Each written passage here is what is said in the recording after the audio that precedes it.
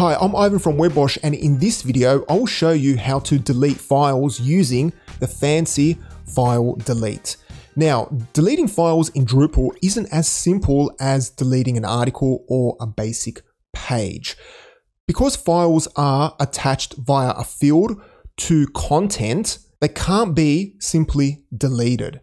And files have this status. When the file is used, the status is set to permanent, which means Drupal won't delete it. But then when you flag a file to be deleted, or the file is no longer used, then Drupal automatically sets the status to temporary. And then in about six hours, which is the default configuration, Drupal will then go ahead and delete the file at the next cron run. But sometimes you want to delete files straight away. So fancy file delete, as the name suggests, it is fancy. It allows you to delete files straight away. We have covered the file delete module, which simply sets uh, the status from permanent to temporary, but you still need to wait the six hours or so for the file to be deleted. Fancy file delete allows you to delete files straight away from the UI. So you could, if you want to allow your editors to uh, delete files, they could do it from the UI. Of course, you want to trust them because you don't want them to just go in there and just delete all your content. Let's now take a look at fancy file delete. So the first thing I'll do, oh, by the way, if you want to learn more about the project, just head over to fancy, well, no, drupal.org slash project slash fancy underscore file underscore delete. So to get started, open up your terminal and then I will type in, what is it, composer require Drupal slash fancy file and then delete. Let me just double check the path. Yes, that's correct. And then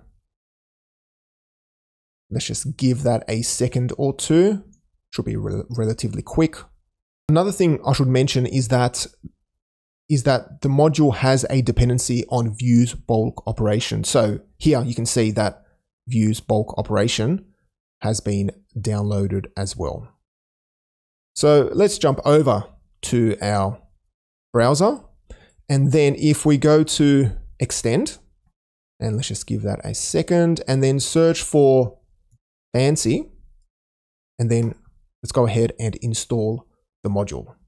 So give that a second or two, and you can see it's going to also install views bulk operation, which you should already have on your site. It is a pretty fancy, oh, I don't want to use the, the word fancy too much, but it is a very useful module, this views bulk operation, where you can batch delete files or any pieces of content and also change and save entities. Okay, once both modules have been installed, then if you go to configuration. And then once you're on configuration, you should see this fancy file delete page.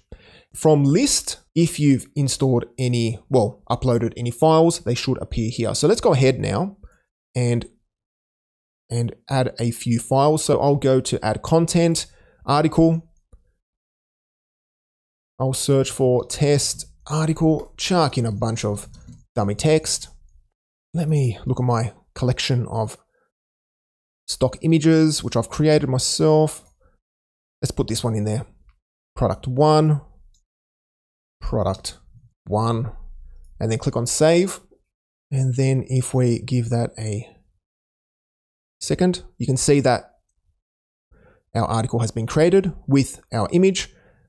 Now, if we go to configuration, go to fancy file delete, and then click on list, we should see our file which we just uploaded.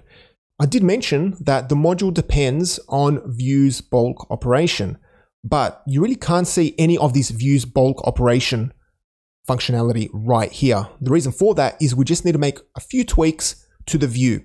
So this is an actual view.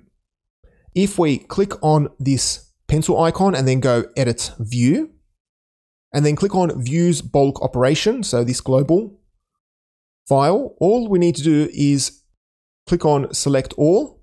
So let's just select both of them. And the most important one for us is this delete option, delete selected entities. And then click on apply and then click on save. once that is saved, we can see our options. So from here, we can go directly to the file. We can delete, we can batch delete using the file ID. So if you want to put it in there, you can batch delete. And then you have orphaned ones, which I'm not quite sure how this works because I looked at this view, the actual view and the query that appears. And this lists out all files where there's no file ID. So I'm not quite sure how this works, believe it or not. And unmanaged, I believe, means that if it's no longer managed in the file system, but it's still there as a as a file in the managed files table. That's how I believe it works. But the two most important important pages, in my opinion, is list and manual. So we can easily go ahead here and select it. Now what I'll do is let me double check the tables. So we can see here our table, which we just created, perfect. And then we can see that it's a managed file. And then if we come along here and click on delete selected entities, and then delete it, it's gone ahead, it's deleted.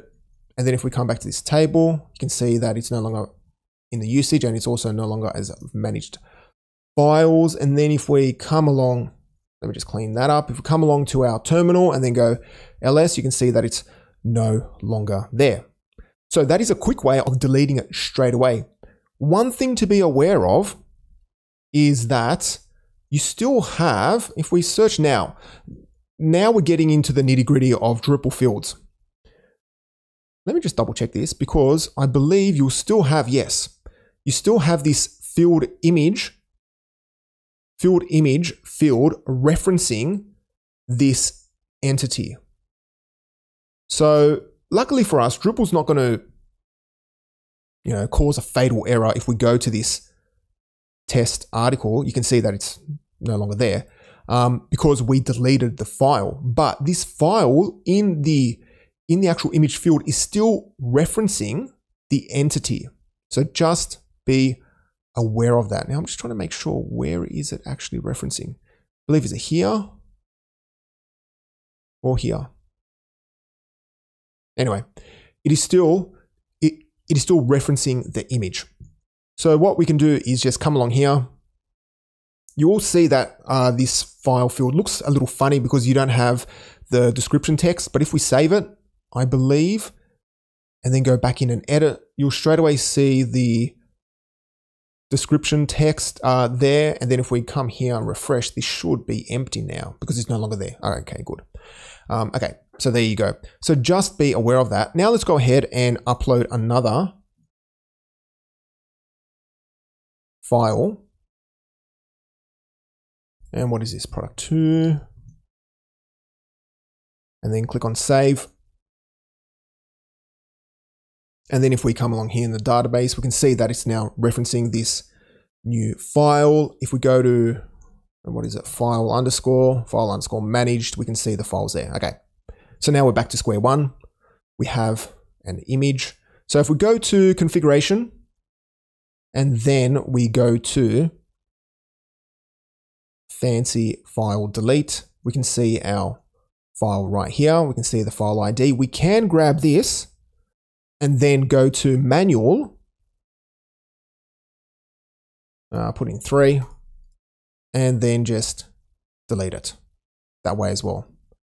And then I believe if we refresh, it's going to be gone from there as well. And then again, it's deleted from here. It's been deleted off the file system. And finally, let me show you one more trick you can do. So, well, if we go back to fancy file delete, you will see that there are these drush commands. Well, let me zoom that in. Apologies for that. Didn't didn't zoom in the browser. There are these drush commands, but if you want to if you want to delete files using just drush and and you uh, do not want to use any any of these modules, you can use a command called now I did have it here somewhere. What is it? Um, drush entity, oh, what is it? Entity delete. Ah, there we go, there we go, there we go. So it's called entity delete.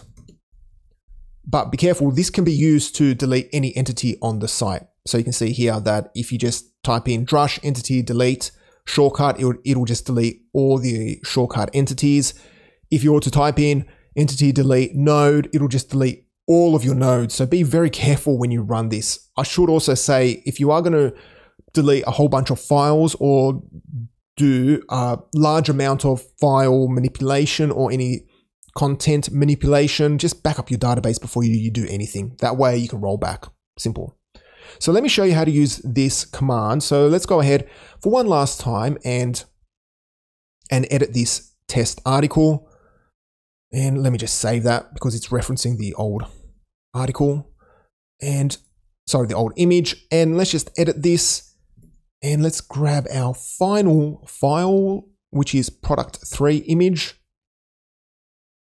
And I'll add in some text three, click on save. And then if we jump over, well, let's jump over to this terminal. You can see that we have this product three .jpeg, which is perfect. And then if we go to configuration,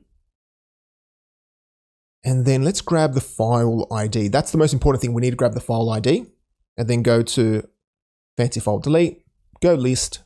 We can see this. Okay, so this is number four. And then all we need to do is type in, let me clear this. So it's right up the top and then go file, which is the actual entity and then the ID is 4. And we hit that, and it's gone ahead and deleted it. And then if we do another ls, you can see that the file's been deleted. If we refresh in this page, you can also see the file's been deleted. And last but not least, well, we didn't refresh this, so of course this is empty as well.